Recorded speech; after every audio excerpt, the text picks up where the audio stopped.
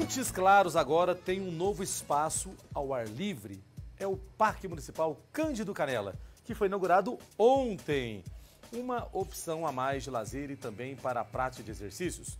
O local tem 19 mil metros quadrados e é a primeira área verde do bairro Canelas aberta ao público. Vamos ver a reportagem. Balança. Dona Jaci aproveita a sombra e descansa no parque recém-inaugurado. Aqui vai ser meu canto.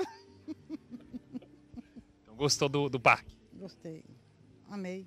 Já Elza aproveitou para trazer a família e matar a saudade dos tempos de infância que viveu aqui. A gente lavava roupa aqui nas vazantes, naquele tempo. Eu era menina e nunca esqueci. O parque tem muitas árvores e o espaço está limpo e preservado. Mas nem sempre foi assim.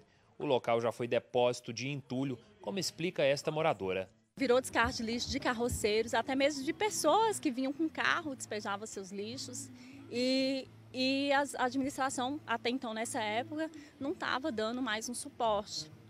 E o mato crescendo e virou motivo de esconderijo para usuários de drogas. O parque vai ser o primeiro espaço verde aqui da região do bairro Canelas. Com cerca de 19 mil metros quadrados de área preservada, os visitantes vão poder relaxar embaixo das árvores ou então usar a pista de 500 metros para a prática de exercícios físicos.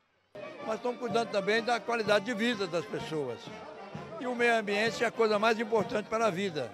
Uma academia ao ar livre vai ser implantada nos próximos dias. 300 mil reais foram investidos na urbanização do parque. Montes Claros, a cidade tem menos praças que eu conheço. Cidade porte médio.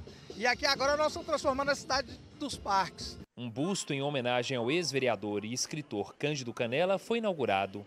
A escultura foi confeccionada pelo artista plástico Gu Ferreira, com a colaboração dos participantes do programa Para Além das Prisões. Figura importantíssima que de muito, de muito tempo já, já preocupava com as questões ambientais, tanto que a primeira lei de proteção do piqui é, foi criada por ele.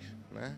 O espaço já está aberto para a população e quem já veio conhecer gostou da nova opção de lazer. É uma maravilha, pra gente é uma alegria muito grande, né? Cheio de brinquedo aqui, tem que divertir, uai.